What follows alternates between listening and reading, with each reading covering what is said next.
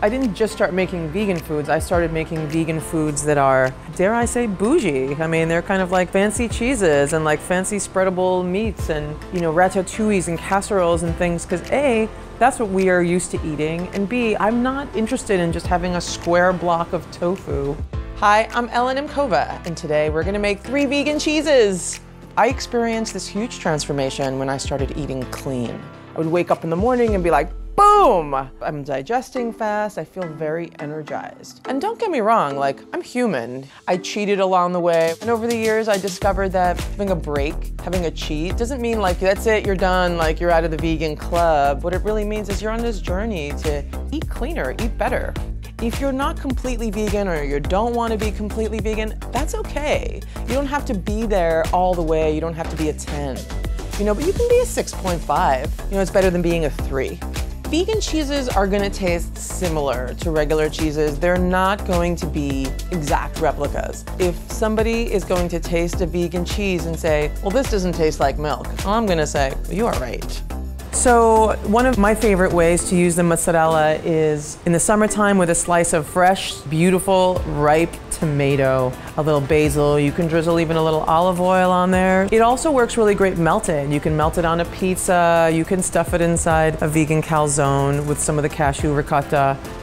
One of the other reasons that in my recipe we boil the cashews first, it cooks some of the cashewness out and it kind of assimilates it a little more to dairy. So this cheese is really great to use in lasagna. You could use this in stuffed shells. With any pasta, you can whisk this in and just pump up the flavor and the creaminess.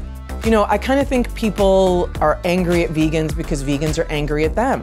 But to shame people for what they're eating, I don't think that works. There's so many great, awesome things out there that can replace meat and dairy these days that I say, all right, well, we're not gonna take it away.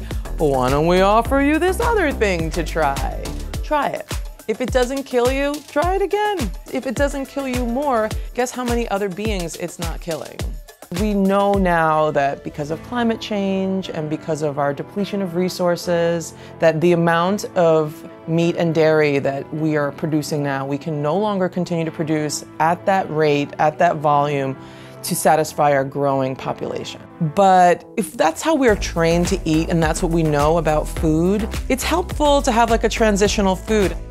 I loved cheese and we can create creaminess and we can create a lot of things that we want from cheese, from a sweetness to a meltiness. Those things are all happening. The point of the story is if you're reducing your animal consumption, you're reducing the impact it has on the environment, you're reducing the impact it has on your body, and you're reducing the impact it has on all of those animals, you can eat a little bit less meat and a little bit less dairy and start to feel better. All right. Mm. Mm. Good job.